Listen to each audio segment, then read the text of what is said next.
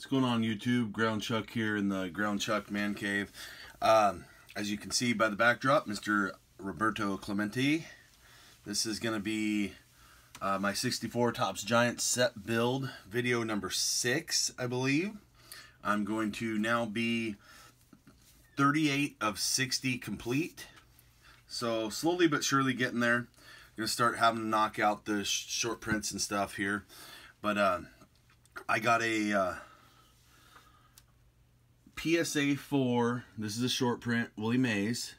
So it's it's centered nicely. I mean, top to bottom is less than desirable. I knew going into it, it was a 4. The price was right. I spent less than 18 shipped on this. So I knew there was going to be something going on with it. I didn't see a lot of snow or anything. But there is a uh, surface crease right through the ball that says Willie Mays on the bottom. But I that's fine. It, it could be a potential upgrade. Something I upgrade later. I wanted to knock it off. I uh, it was a the guy took my offer, so I think he had it for like 20 something. I offered like 15, and then after shipping, it was like 18 something. So very very happy adding that to the set build. So let's take the the glare off of that though, if I can, a little bit. So um, then I got a four card lot and some of these are, are possibly going to be condition upgrades. It was for Hall of Famers. I got this for $10 shipped.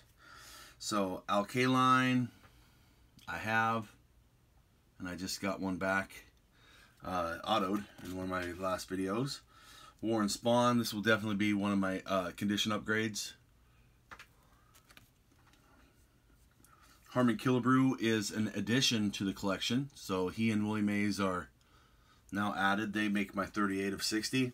And then former Cub, Billy Williams. So possible condition upgrade there. I haven't really looked closely at it to see which ones I will put into my set or not. But uh, just a quick video on New Year's Day. Thank you uh, for watching. Thanks for your support. Thanks for watching my Mickey Mantle uh, auto my autograph uh, gosh, what am I trying to say? I bought a Mickey Mantle autograph, and I got it, and I just put it in a video yesterday. Uh, it was a great end to a fantastic 2018 from a collecting standpoint. So, uh, thanks for watching. Thanks for your support. Ground Chuck out under three.